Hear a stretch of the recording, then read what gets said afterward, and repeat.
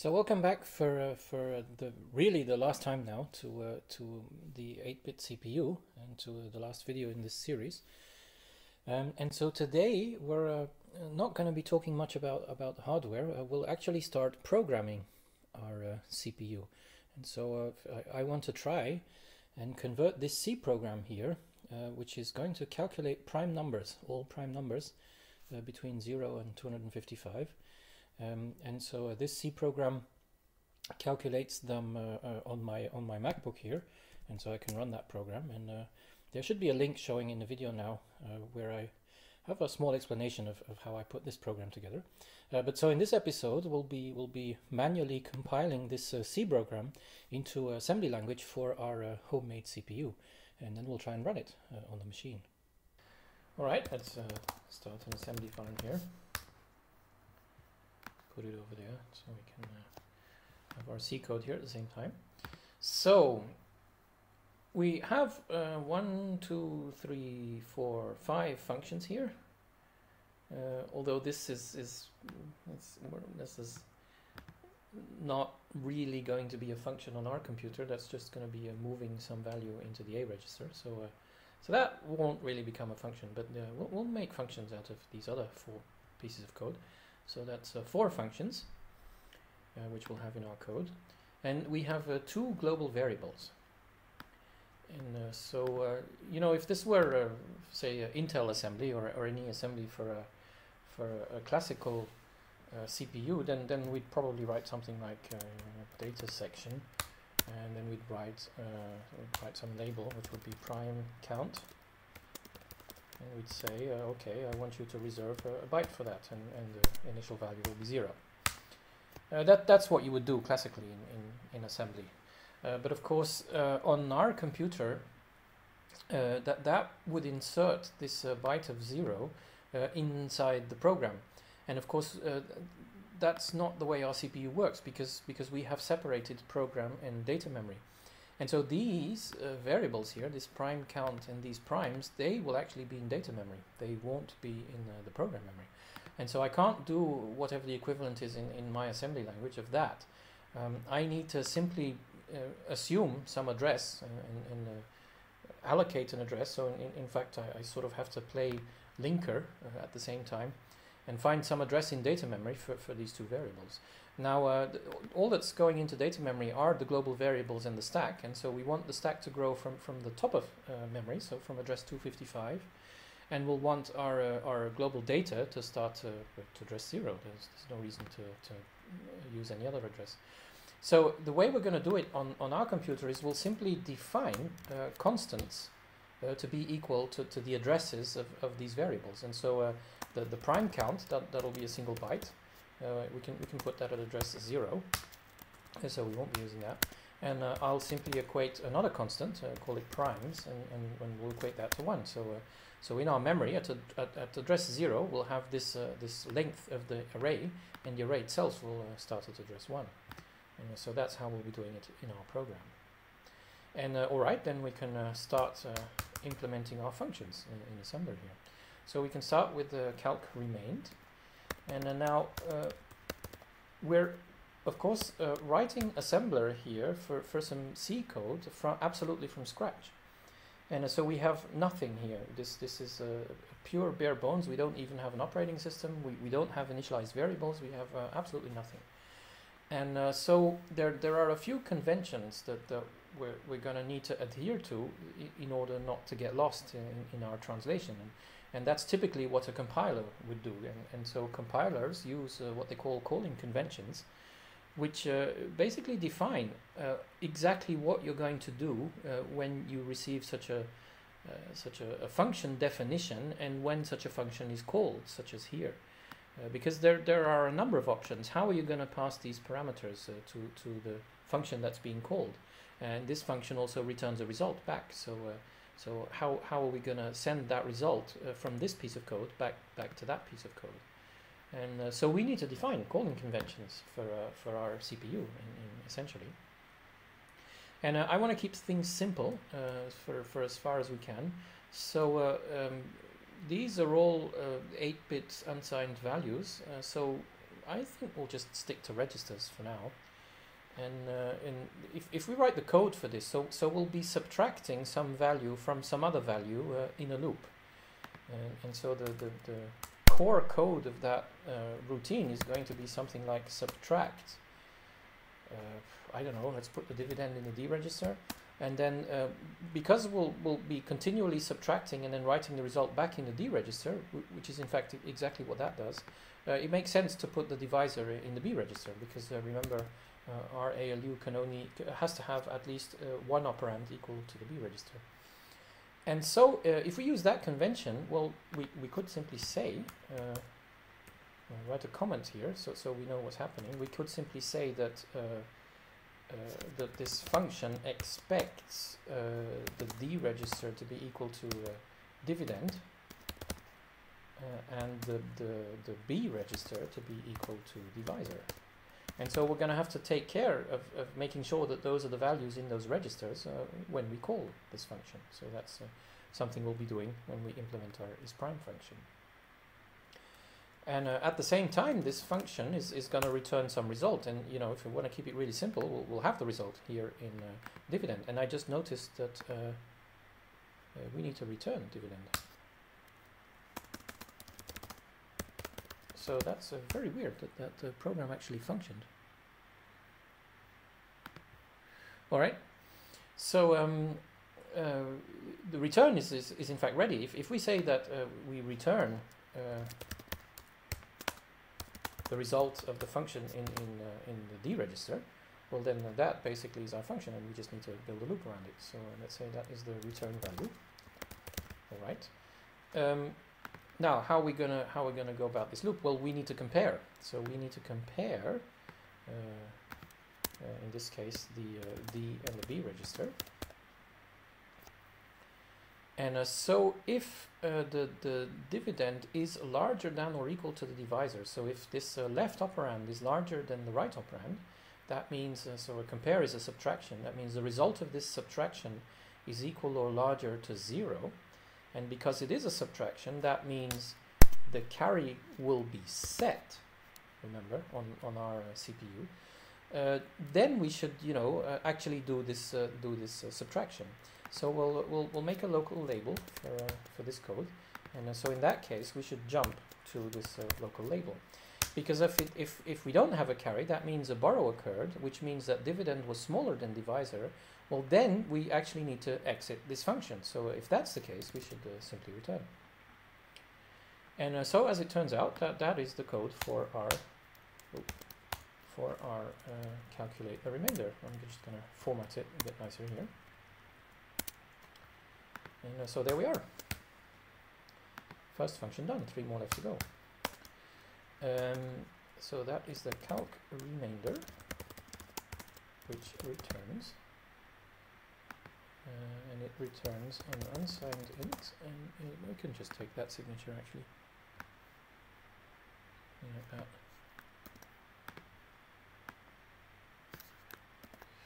There we go. And so that, that fully documents the calling convention that, that we'll be using for that function. All right, let's get on to the next one. So the next one is, uh, is prime. And uh, it might seem a bit weird at first, but I'm, I'm going to put my functions in, in my assembly file in the reverse order. And the result of that is going to be that be because in the, way C works, uh, uh you need to declare functions before you can actually call them. And so uh, uh, in a C program, you're always jumping backwards. And because that's, that's a little bit counterintuitive. I'll be ordering the functions in the opposite way in my assembly file so, so that we'll always be calling forwards because uh, now we'll be implementing this is prime function and the is prime function is, is actually going to call the, the calc remained function. So alright, let's uh, start doing that. Uh, let's first quickly copy over the, the signature of the function here. This is, a, this is just documentation, but it, but it, it makes our code uh, more readable uh, anyone later comes uh, comes across this assembly and, and wants to understand uh, what it's actually doing. So uh, how are we gonna uh, do that? Well, uh, we're once again we're we're expecting input parameters and we're sending out some outputs. we can start with the same convention that we had up there, and, and we'll see how it goes. So let's say we expect the candidate value on the RD register on the input, and then the, we'll be uh, returning the, uh, the return value also on the D register. Right. So let's see. Uh, let's see how we how we do that. So we have our is prime, and what are we going to do? So the, what we have in the is prime is a is a is a big for loop. So a for, uh, you know, the way we're going to do that in assembly is probably something. We'll, we'll have some label up here, which will be the top of our for loop, and then we'll have some code, and, and then down the bottom here we'll we'll have a we'll have a jump back to the beginning. That's uh, very likely. So uh, of course we can't use that label anymore, so we'll, we'll use two. and so uh, what, what are the conditions that we need to take care of? So uh, this uh, unsigned int prime index uh, equal to zero, that needs to be outside of our for loop, of course, because it, we, we do that only once. And so, so we'll be doing that here. And so we need to decide where are we going to put this, this, this, this value, this prime index. And of course it's a counter, uh, and we'll be using that counter mainly uh, to calculate uh, indices inside this array. And so if you think about how, how we're going to do that uh, in, in, in assembly, uh, well, what we're going to need to do is we, we have the, the start address of primes. So in, in, in essence, we have the address of primes index 0.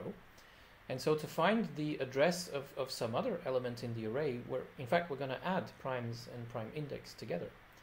And so a prime index will be an operand for uh, an add instruction on, on, several occasions.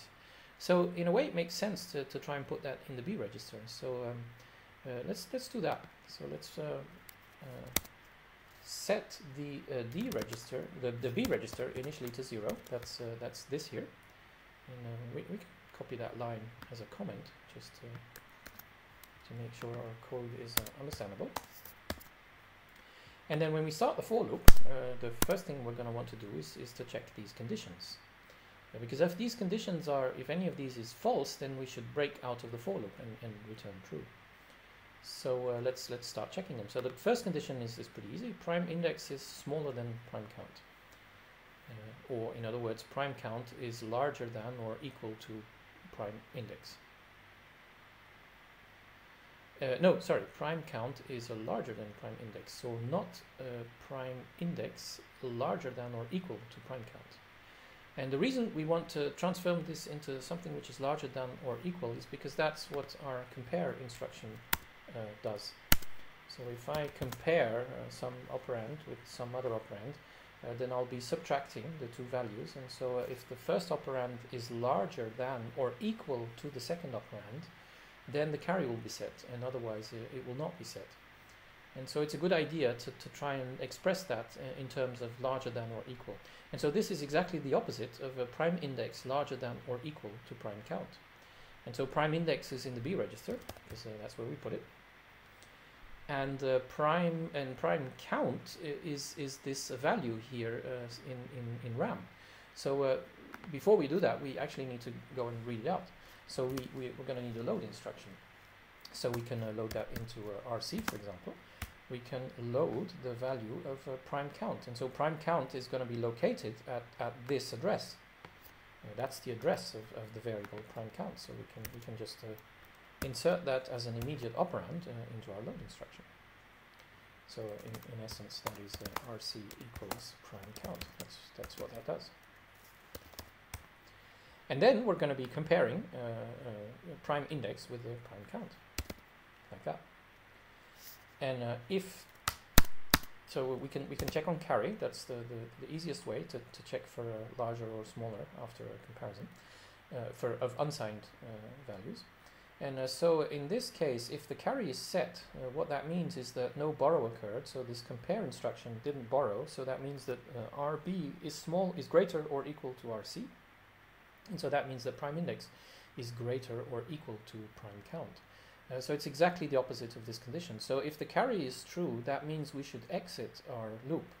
So uh, for the moment, let's let's just imagine we have some uh, some uh, some symbol here return true. So uh, uh, beyond our for loop, just for our brains, let's have some some some symbol here which says return true. So uh, naively, what, what, could we say? We could say uh, we want into the D register, we want to set a 1, because we're returning true, uh, and then we return from the function. Something like that. Uh, just so we understand what's happening.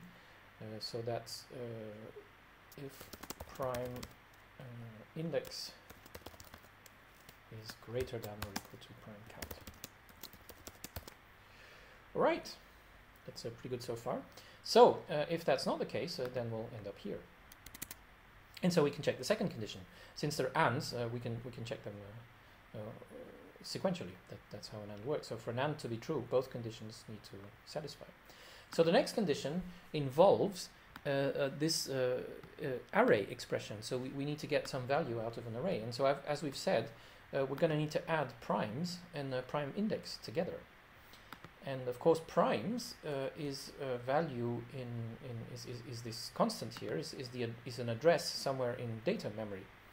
So uh, we'll start by uh, setting uh, that particular address uh, in, in some register. So uh, we don't need the C anymore. We, we use that quickly here to, to get prime count. But but in this expression we don't need prime count anymore. So so we can use it again.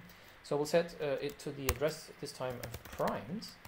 And then of course that that means that RC currently is pointing at, at, at the, the zero, the first element in, in primes, uh, element at index zero, but we want the element at index uh, prime index, and the prime index we, we've been uh, storing in the B register. So we want to add the B register to that.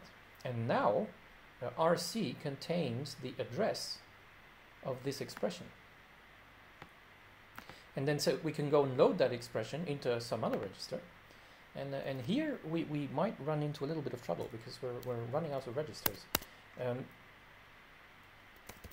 we might like to load it in the D register, something like that. Uh, but of course, we can't yet because the D register uh, contains this uh, input value, which, uh, which we don't want to lose. So there's an easy way around that. Let's uh, just put it on the stack. So we push the D register away, and so we can we can we can get it back again after we've we've done with, with checking this condition and then we can uh, check this condition very quickly. Um, okay, so uh, we can then load uh, our primes prime index into the D register. Uh, and now we also need to uh, we need to uh, compare that against the, the value 16. And so now we have another problem because we're we're going to be comparing, and one of the operands needs to be the B register. And so to do that, we're also gonna need to write something else into the B register. But the B register contains this, this index here. And, and so we're, we're gonna want to save that as well. So uh, let's push the B register as well. And so at this point, the stack actually contains, uh, you know, whatever was there before, followed by the D register, which was in fact candidate. Candidate uh, and followed by the B register, which is a prime index. And so to make sure we don't lose track of things, let's write in the comment here what we are expecting at this point. So now we can uh, uh, load this uh, 16 into the B register. So, alright, B is equal to 16. And now we want to compare. So, uh, in, in which order are we going to compare? So once again, it, it's useful to transform that into a into a larger than or equals. Uh, and so we could say that that is not primes prime index larger than or equals to 16. And primes prime index, that's uh, the D register, we've just calculated that. And so if we can compare that to the B register, then if that is larger or equals, uh, then we'll get a carry, because then this subtraction will result in a positive or a zero value. So we can say jump carry uh, to the same destination, so uh, return true. Except we have a little problem if we do that. And I'll, I'll uh, uh explain what that is. Uh, we've just pushed two values on the stack, which we intend to retrieve later because, because we're going to need them in, in the rest of our loop. Um, and so if I uh, simply jump over here and then put some value in D in return, then uh, that return is obviously uh, that that's going to cause all kinds of problems because the it, in fact this part of the stack will contain the return address but I've just pushed two values on there And so I can't simply uh, return like that. Uh, I need to do something else. And so, uh, as it turns out, um, this is a, not a very useful way of doing things. Um, it would be more useful if we, if we could turn it around. So if we could, um, uh, if, I say uh, compare b to d, then what will happen is, uh, in fact, this expression will be true um, if 16 is larger than or equal to the D register. Um, and so then we'll, we'll have a carry. And so and what, I, what I'm trying to achieve is, is that I want to continue, I want to, I want to consider that I'm going to execute the body of this for loop uh, if I have a carry, if, if this uh, subtraction results in something positive. And so uh, the way we have it now, that's going to happen if uh, 16 is larger than or equal to um, the D register, which is our uh, primes prime index. And so that's not quite true. We need it to be, we need 16 to be larger, not larger or equals. But 16 larger or equals is the same uh, 16 sorry larger than some value is the same as 15 larger or equal. So so we'll just put 15 in our B register. And that means that uh, if if we don't have a carry then uh, this was negative meaning we are in fact uh, that this this condition is not satisfied. And so then we can simply pop back these two values which we put on the stack. It doesn't really matter into which register. Um, I'll just do it in the in the same registers that they came from. Uh, the reason here is is in fact, we, we don't need to do that because we don't need to save them. All we need to do is to increase the stack pointer twice. Because we're not interested in these values anymore, we're going to exit the function, but we do need to make sure that, that our stack pointer, that, that our arithmetic is, is correct. Uh, but we can't do that because stack pointer is not um, uh, a general purpose register and uh, our ALU only accepts uh, general purpose registers. So, so we need to pop into some dummy register. That, that's the only way we can increase the stack register and so we'll do that. And uh, and then we can uh, jump to return true.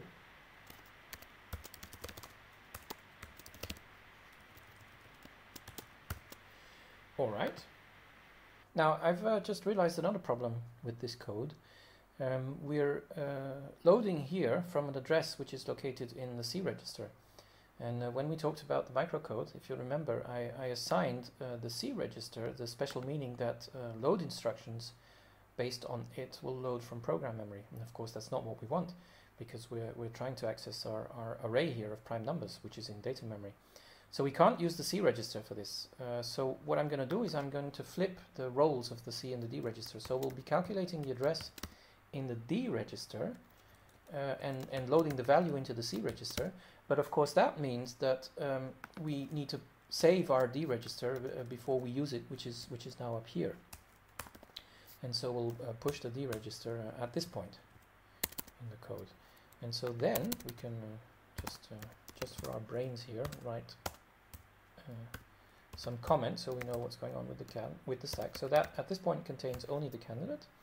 And then we'll be loading the the C register will will then contain this this primes uh, at index prime index. So we can load into the C register, that that doesn't, uh, th that's no problem. Uh, the problem is uh, when we use it as the address register. So unless we're accessing program memory, we, we can't use the C register for in, in that row. But the D register is fine. Um, and so uh, the, uh, what that means, of course, is that the, the, the real value that we're interested in is in the C register. And so after this point, we don't need the D register anymore. So we can put the candidate value back so uh, as it turns out, that's actually better code. And so now the stack is uh, is, is is is basically uh, the same as as when we entered the function. So so that's good. And then at this point, of course, we're pushing the B register because now we're going to override the B register. But so uh, the candidate is no longer on the stack. So all we have here is the prime index. Candidate is now located in the D register. We can we can write that here. Right. Is candidate. Very good. So uh, the rest here is all the same. And uh, so this, this uh, stays the same. Of course, now we're comparing with the C register because the C register is what contains prime's prime index. Um, and uh, this can, we can get rid of this because we've already popped the D register over there. So there's only one value in the stack. Uh, but we still need to get rid of that B in the case that, that we're exiting at this point. Uh, but if we don't, then uh, we'll continue and we'll, we'll, write the contents of our loop uh, here. And so what do we want to do here? Well, we want to call the calc remain function. So uh, we, we will write my call instruction here. And so calc remained, I, I can't do that. If you remember in our discussion of the microcode, how we implemented the call instruction, I can't put the address as an immediate operand to the call instruction. I in fact have to put it in the C register and then I need to call based on the C register. Uh, the, the, limited architecture, the limited the simplicity, let's say, of, of, the hardware is the reason why we have to program that way. Uh, and then again, of course, we're going to have some problems because our C register uh, at this point contains prime's prime index, and that's exactly one of the arguments to the function. So, so it would be a, a shame to lose that. But as it turns out, uh, this function expects uh, that particular argument in the B register. So if we just do that before we clobber the C register with, with some other value, then uh, we should be fine. And so the only other thing left to do is to make sure that candidate is in the D register because that's what this function expects. Uh, expects this uh, dividend, which is the first argument of the function, to be in the D register. Um, and it already is, because when we popped it off the stack here, uh, that's where it went, went into the D register. So that's great. We've actually got our arguments uh, set up for calc remain, and uh, we can we can uh, we're basically done here. Then, of course, uh, this function will execute. Um, it actually will overwrite the D register with its return value, and the return value will be the remainder of the division. But uh, since we're in a tight loop here, uh, we, we want to keep that value candidate. And, and, in our C code, we're not overwriting candidate, it's passed by value. And so uh, that, that candidate should stay fixed. So what we need to do is, uh, in fact, we do need to save it before we call our calculator remained, because it, calculator remained, calculate remainder, will overwrite the D register. And so we'll, we'll save a copy of that. And so uh, in this case, we need to remember that the B is also uh, on the stack stool, contains the uh, prime index variable, and so we also have candidate on the stack now. But alright, then we call, and that, that was uh, the end of the for loop, if you remember. Uh, then we call, um, and we, of course, uh, are interested in the result of that. So if the result of this remainder should equal zero, and here is a, a good case for our, our test instruction. So the, the result will be in the D register. That's what calc remain does. It puts its result in the D register. So we need to test whether the D register is zero. So simple enough. And uh, so if it's zero, uh, in the case that it's zero, we should uh, jump to uh, return false. Okay. Now, um, uh, let's uh, write return false here. So naively, what we, do we need to do? We need to set the D register to 0 because this function should return 1 or 0. It's uh, returning a boolean. Um, and then we should return. But of course, uh, when we do that, uh, once again, our, our stack is, is not the way it's, uh, it ought to be when we're returning. And so we need to do some, some more work here. Uh, in fact, we need to pop two values off the stack before we can do that.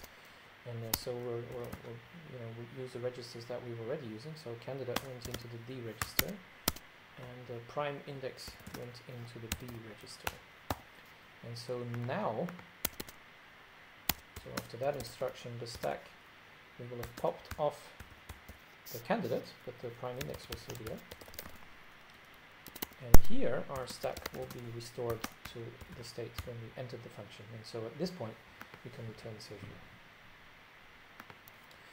But if this is not zero, so if the result of that, uh, sorry, if the result of that calculate remainder is uh, not zero, is anything else, then uh, we then nothing happens. We simply continue and we, we, we come to the end of our for loop.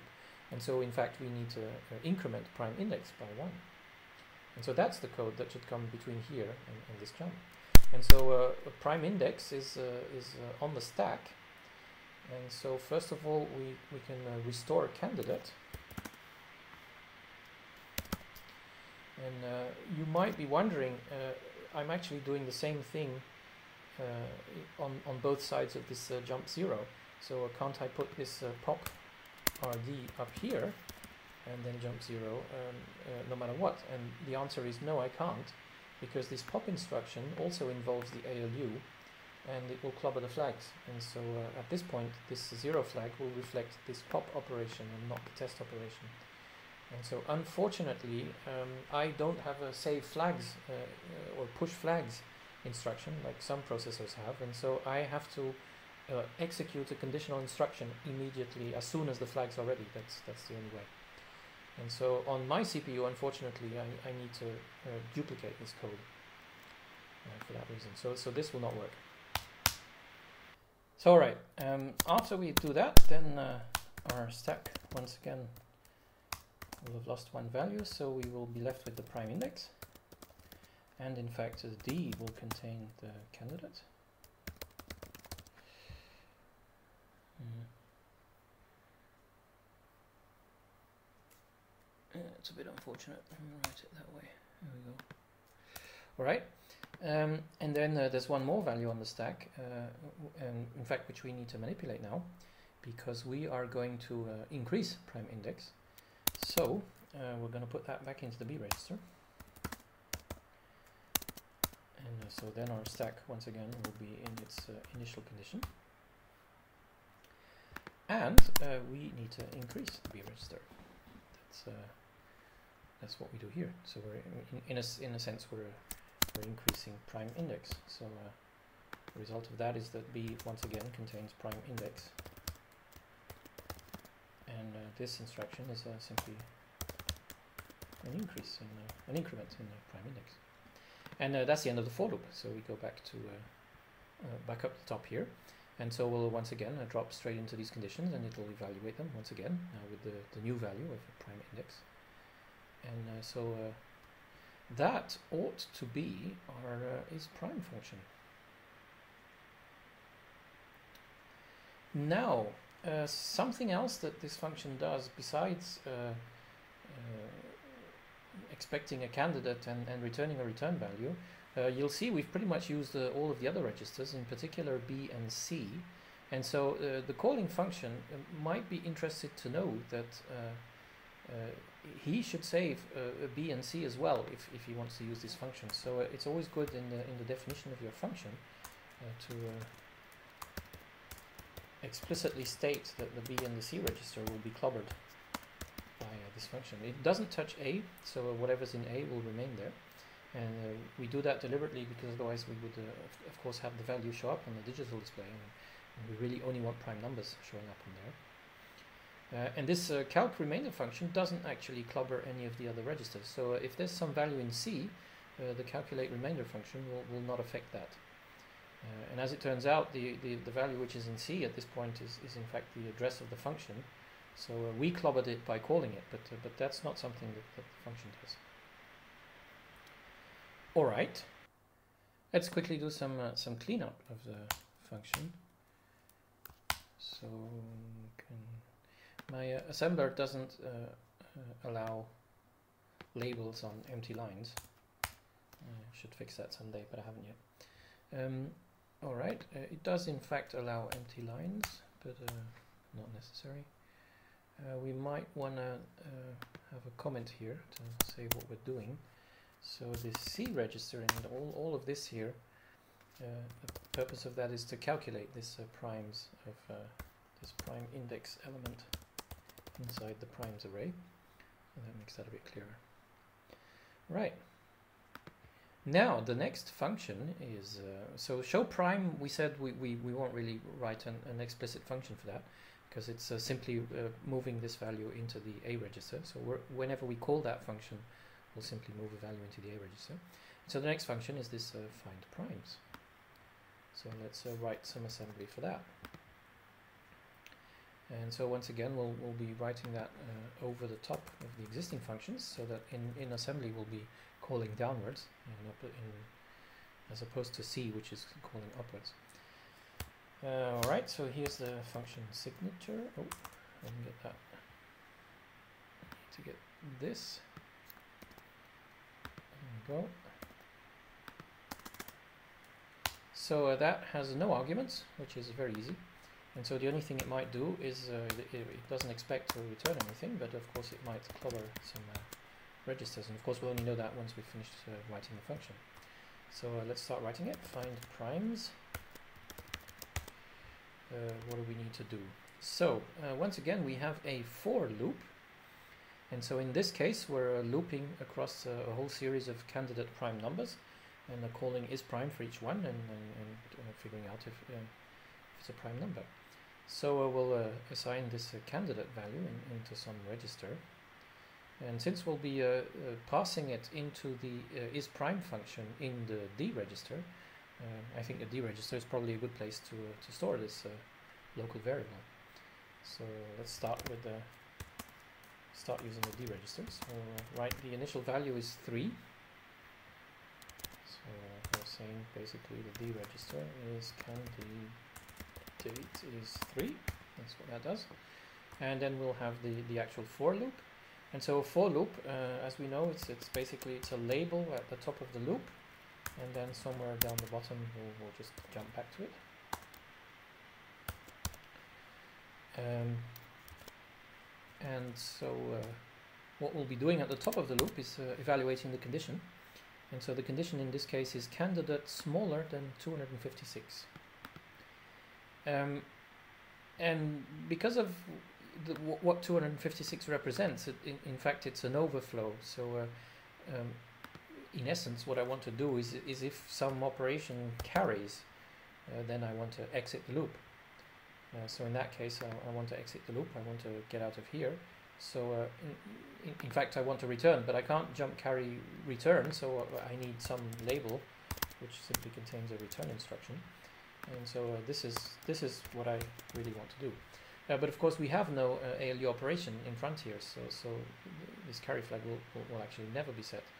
Um, but if we remember that just before this jump here, what we're actually doing is we're adding 2 to the candidate. So how do we add 2? Well, we could either increase twice, that's uh, one possibility. Um, so our candidate's in, in the D register, so we could do that. Uh, but of course, uh, if we do that, uh, and, and supposing our value is uh, 255, which it could be, uh, then of course it will end up as 257. And so this first increase will set the carry, but then the D register will in fact be 0 and the second increase will increase it to 1 but will have lost the carry. And so that's not a good idea in this particular case where we're actually testing for, for an overflow. And so we we are going to have to do the addition of 2 in, in one go. So uh, we need to put 2 in the, in the B register and then add uh, that 2 to, the, to our local variable, to candidate. So in, in essence what we're doing here is we're saying uh, candidate plus equals 2.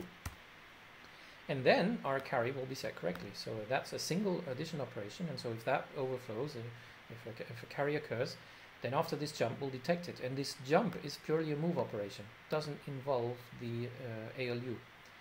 Uh, and so the flags will not be affected by it. And so in this case, we, we can actually uh, wait for a while and, and, and use the fact that uh, we're jumping back over here, and so then this uh, jump carry will make sense. And so the only problem we're left with is, uh, is the, the initial run. So when we first initialize the D register, we need to make sure that that carry isn't set. So very simple way of doing that is, is just test, because test, remember, sets all the flags. So that's our uh, for loop. And so uh, we have our condition. We've uh, coded, coded that into, no, the condition's here uh, coded that simply by this jump carry instruction. We have our increase statement here, and we have our uh, initial statement. So all that's left is the is the body of the function. So what does that do? It calls the is prime function. Okay, so uh, we already know how to call functions. We need to set the address of the function, which is uh, is prime, into the C register, and then we uh, call based on the C register. Uh, so that's that. Uh, now it needs an argument, it needs a candidate, so the candidate has to be in the D register, but fortunately it already is. Um, and it will return uh, 1 or 0. Uh, that's, that's what this function does. So it returns in the D register. Of course, by returning into the D register, we're going to lose the value that was there. So, once again, we need to save it in the stack before we do that call. And so uh, then our stack will be uh, whatever it was before, and, and plus the value candidate in this case. And so when we've done that, now we basically need to test the D, which, which now no longer contains candidate, but which our is prime function has set to either true or false, uh, meaning 1 or 0. And uh, so we, we, will we'll just test it to see what the flags are. And so if it's 0, what that means is that the result of this is prime was false, and so we should skip over all of this.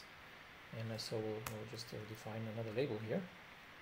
Um, and so we should we should move back to the back to the end of our function. And so in that case, we should jump uh, straight there. Uh, and if it is not zero, then we should uh, execute all of this here. And so at this point, uh, we're going to need that value candidate again, which we put on the stack, so we can go and get it back now. We've uh, done testing the, the return value of that function, so, so we don't need the D register uh, for that function anymore, so, so we can put candidate back in it. And so stack is now once again its initial its initial state, and the RD contains the candidate. And uh, then we, first of all, we need to show the prime. So, well, that's uh, really easy. Let's uh, move uh, into the A register, what was in the D register. And secondly, we uh, need to do all of this calculation.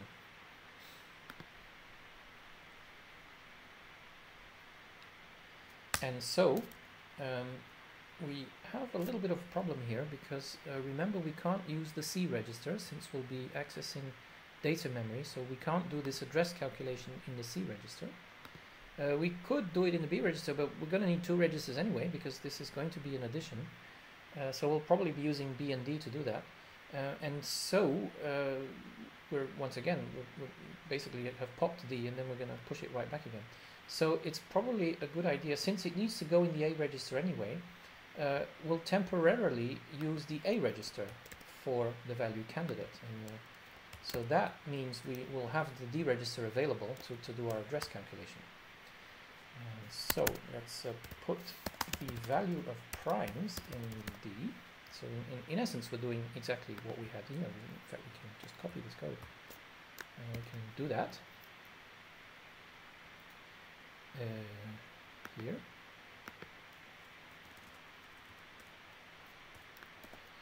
And then we're going to add, uh, so the B register needs to be prime count. So we need to load into the B register uh, what's at address location prime count in this way. And so then uh, this uh, this will add the two together. So we'll, we'll get the address of, uh, so if we get that uh, post increment for a moment, we'll get the value of primes prime count uh, into C. So primes in this case, prime count will now be in the C register.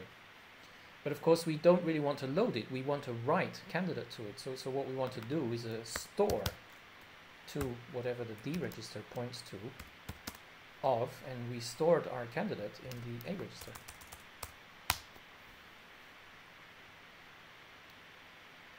Very good. Now, another slight problem is uh, we've been pushing stuff on the stack again. Uh, and of course, we uh, need to pop it off before we jump back to the beginning of our loop. Because when we started our loop, it, it wasn't on the stack. And so we've pushed this uh, candidate on the stack um, and we only take it off uh, in the case that in this branch, uh, so where where where we're in this uh, true section. Uh, and so if we were to jump straight to five, then it would still be on the stack. So at the moment, we could arrive at this point in two different states, uh, either with the value on the stack or not on the stack. So uh, another way of solving that, rather than doing push and pops in each branch, instead of actually popping the value from the stack into the uh, A register, what we can do is, is simply load based on the stack pointer. That's a, a sort of a peek operation.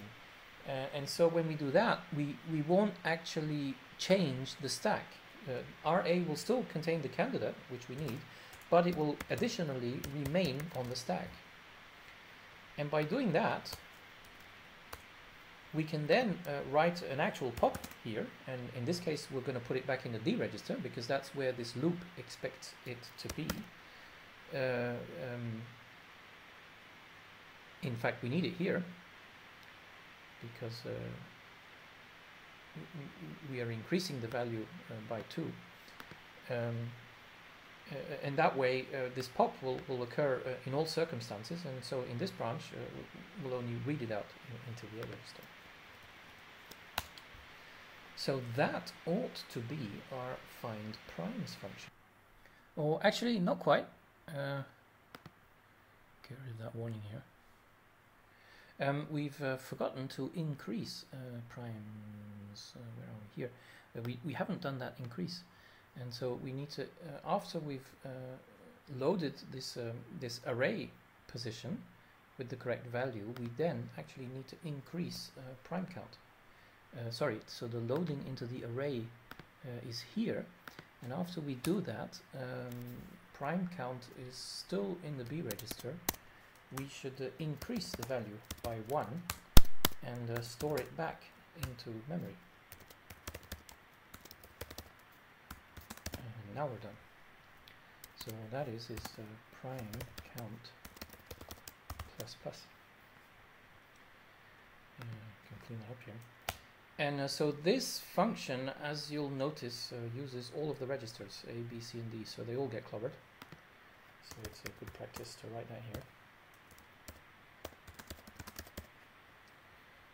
something like that. And that leaves us with our uh, main function, which will be in fact the uh, entrance entry point to our program. So main, call it, well, it'll be void in, in, in this program. Uh, main uh, actually won't return, it'll, it'll uh, halt because it's the, the main function. Um, and so uh, main will be some code, and at the end of that code will be a halt. So what does main need to do? First, it needs to just show the number 2, so to, to you know tell people that we're aware that 2 is also a prime number. Uh, and so that's uh, dead simple. In our case, that's just uh, data of 2 into the A register. And then after that, it needs to call find primes, and that should be the end of it. So to call, we already know how to do that. We uh, put the the address of the function in the C register, which is a find primes, and uh, we call it. So it would appear that we were able to produce, uh, at least theoretically, uh, an assembler version of this C program for our CPU, which is pretty good. So uh, we should uh, try, first of all, uh, if, if, if I haven't written any uh, blatant syntax errors in here. So uh, let's uh, see if I can actually assemble this program. And so I did write an assembler for my CPU a, a while ago. And I'll, I'll put some instructions on, on how to use that uh, in, in the description of this video. So, let's invoke the executable and the input will be our primes program. And uh, so we have a problem on line 27. What's uh, going on on line 27? Right, that of course should be data. So we want to move primes to data. Yep. And there we are. So those are the uh, machine code instructions for our CPU uh, corresponding to uh, our assembly program. Now, uh, few little things I still want to do. So I like to um, put these uh, various functions uh, at well-known locations in memory because it just makes it easier when you're when you're looking at the program counter.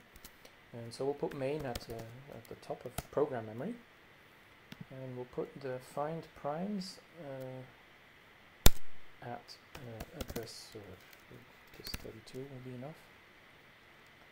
that doesn't look. We can see here how long the functions are actually. So that goes from 6 uh, all the way to 35. So yeah, that will fit inside 32 bits. Uh, right, and then we'll have our is prime function at 64. And is prime is a bit longer. So that's not going to fit in uh, 32 bits. That uh, 32 bytes. That would be 67. So we'll uh, we'll we'll count 64 for uh, for uh, is prime, and so we'll set the next function, uh, which in fact is the last one, calc remain. We'll set that at 128. There we go, and let's uh, quickly reassemble that. And so there we are. And so now all of our functions uh, should be nicely aligned. So that's the address for calc remain and uh, our is prime starts nicely on address 64 and the find prime should start nicely on 32 and, uh, and so on. So I guess we can uh, try this out now on our CPU. Oh, actually, uh, not quite yet. There's uh, some some important stuff that we've forgotten. So uh, once again, this is this. let's have another look at the C program. Uh, this is running on a, on a bare bones CPU that, that doesn't initialize anything at all uh, when it first starts running. That, that's entirely up to us. And of course we didn't. We've simply copied uh, this main function here. But uh, running under an operating system, C programs, uh, of course, do an awful lot of initialization behind the scenes that, that we don't see. First of all, they initialize the stack, which we haven't done, and we need to do that, or we'll get problems. Um, and secondly, we have this global variable here, which we need to initialize. So uh, let's uh, just add some instructions to do that, otherwise uh, we will have problems. So the first thing we want to do is we uh, want to set the stack pointer to 0. By setting it to 0, uh, as soon as it decrements and it starts writing uh, its first value, it will decrement to 255. And so that's how we how we initialize the stack to the top of memory, which seems counterintuitive, but, but that, is, that is the way to do that.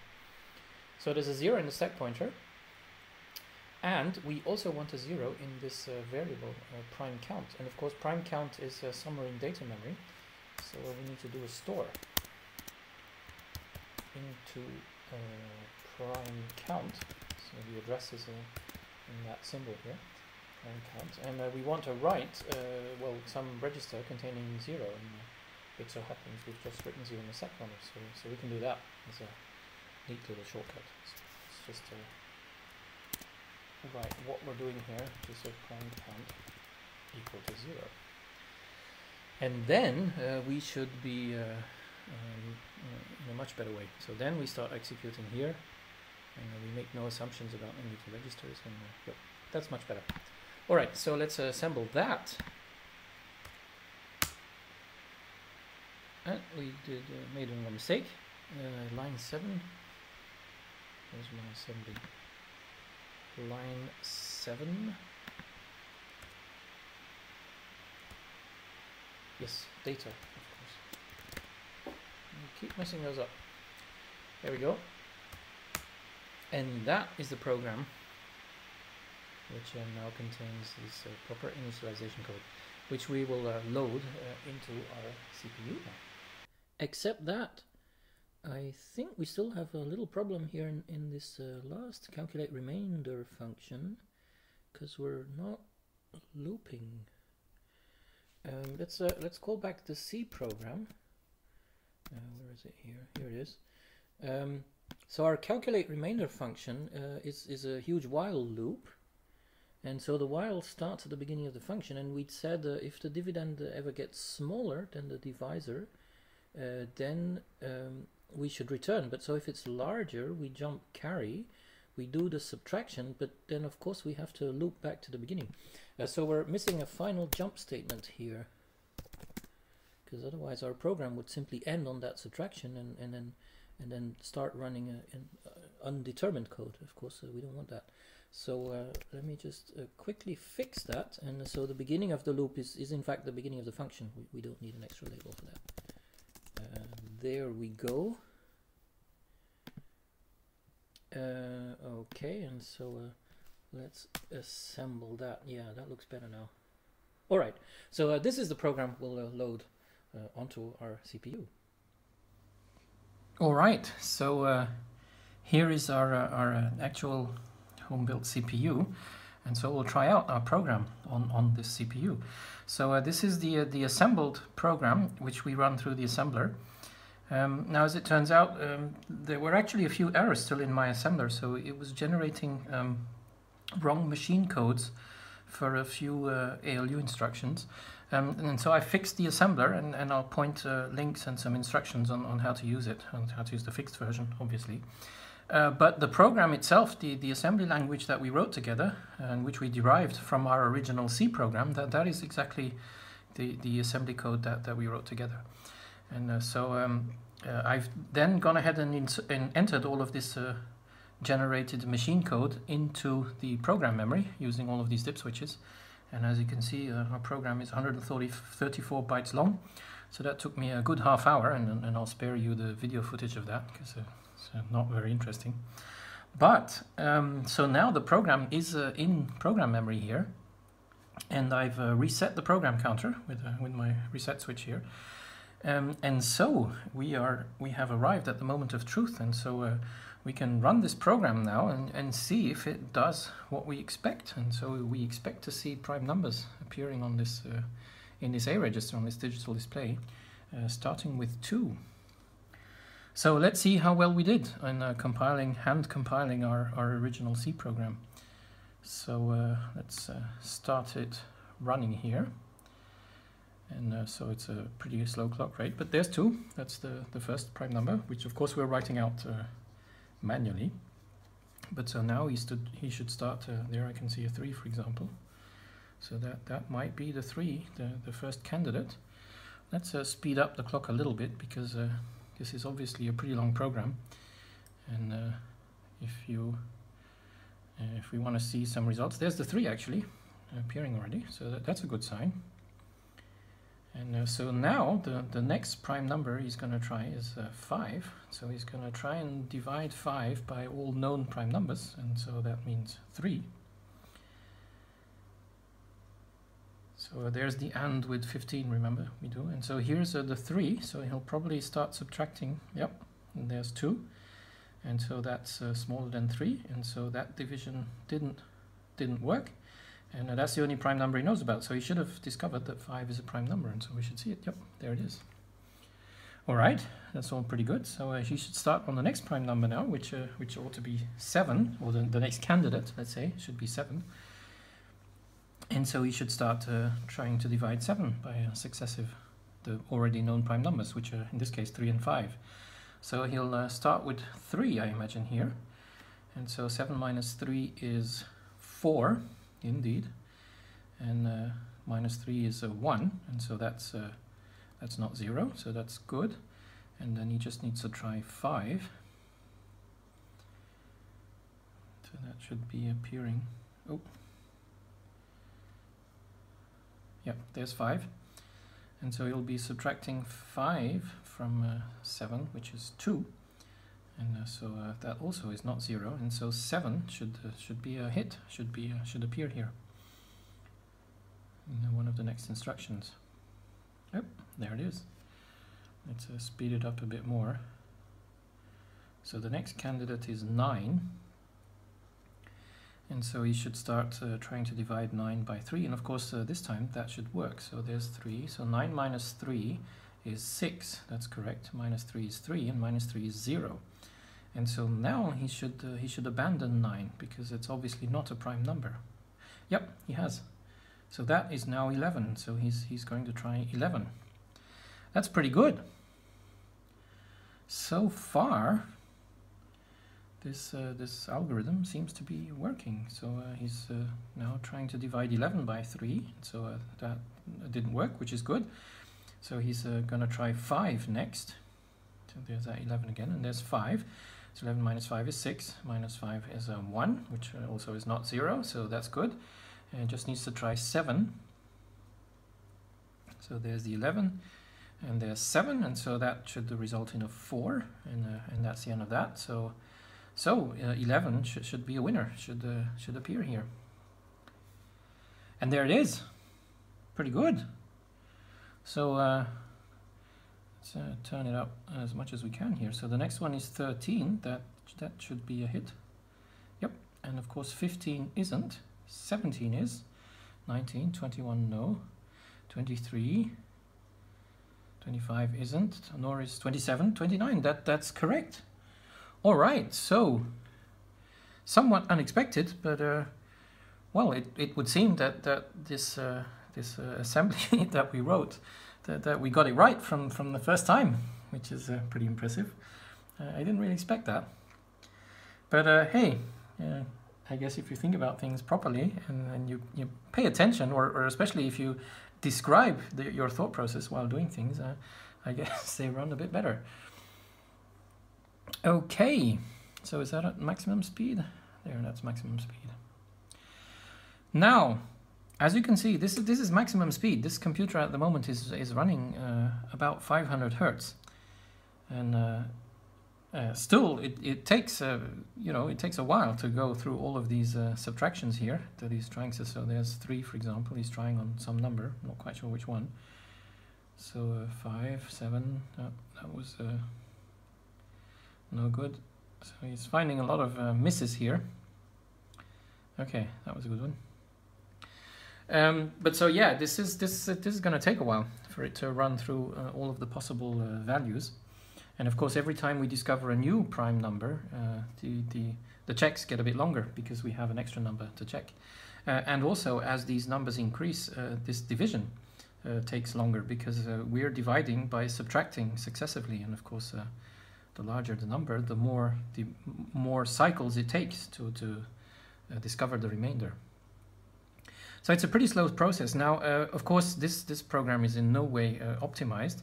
Uh, first of all, we're, we're using a lot of uh, uh, um, functions which we're calling by, by using the stack, and so that, that involves a, a lot of arithmetic. And uh, so we, we really haven't done any optimization, which is which a, a, modern compiler certainly would do.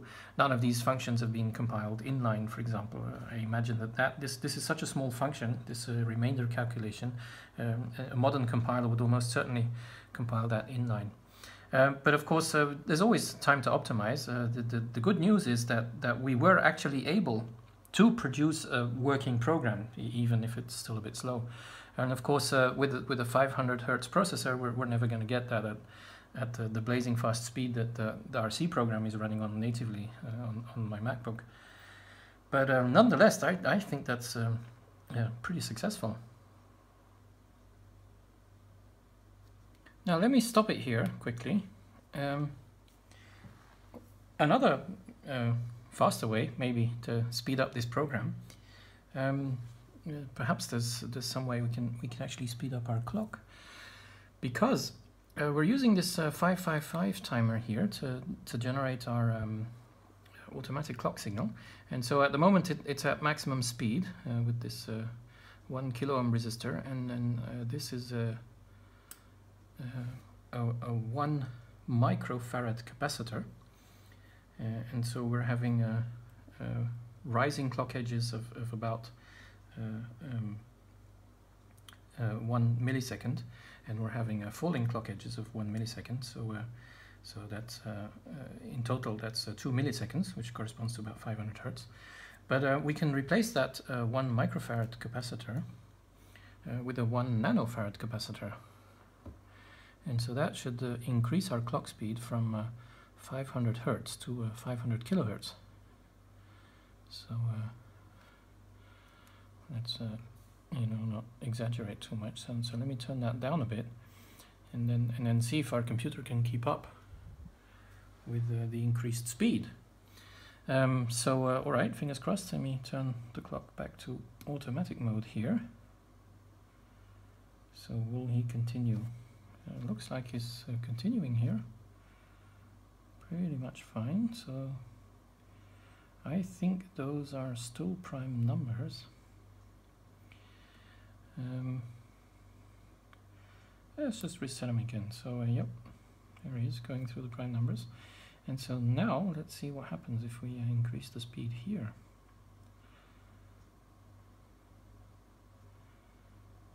So yeah, that's uh, definitely running a bit faster, obviously. And there we are. We're not even at full speed yet. Boom. And 200, well, we've halted. Yep, because we, uh, we halt at the end of our main routine. So in fact, our program counter should be um, uh, should be nine. Well, it's ten. Yeah, so it's uh, it's increased just past nine. Okay. Wow. Uh, let's try that again at this speed. So uh, yeah, that's the. So let's let's try it at full speed. See what happens. Boom. It's done. It's a matter of seconds. So this computer uh, not only is it able to uh, run um, code here, which we compiled uh, from C code, so its assembly language is, uh, you know, is pretty feature complete if, if it's able to handle a, a, a proper C program. Um, but it can actually run it at 500 kilohertz, and uh, that also is pretty amazing. I know. So uh, let's reset that again. So that looks like a pretty good design, I, I must say. and so anyway that pretty much concludes uh, my tour of my homemade CPU, uh, which turned out to be able to do things that uh, not even I expected it to be able to do. So uh, here it is running at 500 kilohertz, uh, working out prime numbers uh, in a matter of seconds using this program which which we wrote together at the beginning of the episode. So yeah, um, it's been uh, fun uh, working on this and, and talking about it and, and trying to produce uh, useful content for YouTube. So uh, let me know what you thought about about this video series. And uh, and uh, as I said in a previous episode, is if there's any particular um, part of the computer that, that you want some more information on, well, you, you can let me know as well. And and maybe I'll I'll try and delve into some some points which might still not be clear. But um, other than that, from from my perspective, uh, that that pretty much wraps it up.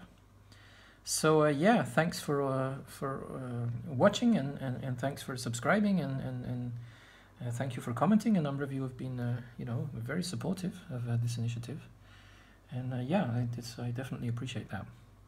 So enjoy enjoy your time on YouTube and and maybe you'll be working on your own computer uh, in, in the near future and uh, improving uh, even on my design. And I look forward to seeing some of those initiatives. So that was that was it for me.